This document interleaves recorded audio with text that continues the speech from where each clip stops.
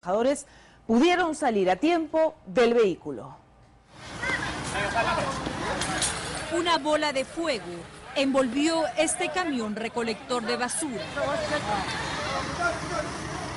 Utilizando extintores, los trabajadores de limpieza intentaron sofocar las llamas que consumía la cabina del camión y poco a poco se expandía a todo el vehículo.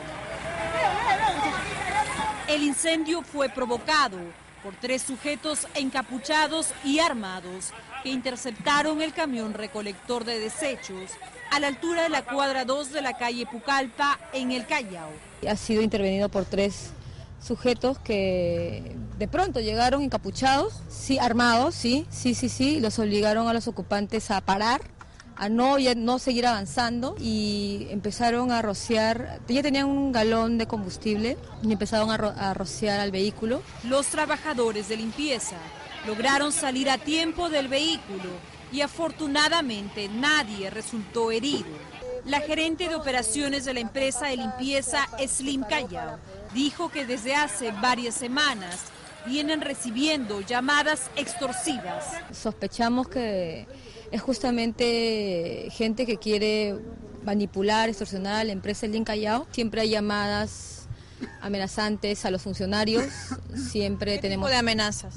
Eh, por ejemplo, bueno, de orden, de carácter, digamos, personal, ¿no? Que estamos siguiendo, estamos siguiendo a la familia, estamos siguiendo a los hijos, etcétera, ¿no? Sospechan que el atentado sea parte de una venganza contra la empresa de limpieza pública por haber despedido a más de mil trabajadores fantasmas que cobraban un sueldo sin laborar. Y se presume que ellos ingresaban a las personas y no trabajaban, sino que cobraban eh, eh, libremente por, eh, su sueldo cada mes sin, sin trabajar, sin hacer ningún trabajo específico. ¿no? Había barredoras o barredores que tampoco realizaban el servicio. Sin embargo, cobraban sueldo. Sin embargo, a fin de mes así era. Convertido en chatarra, el vehículo siniestrado fue llevado al depósito.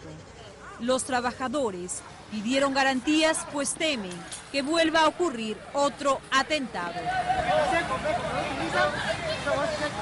Y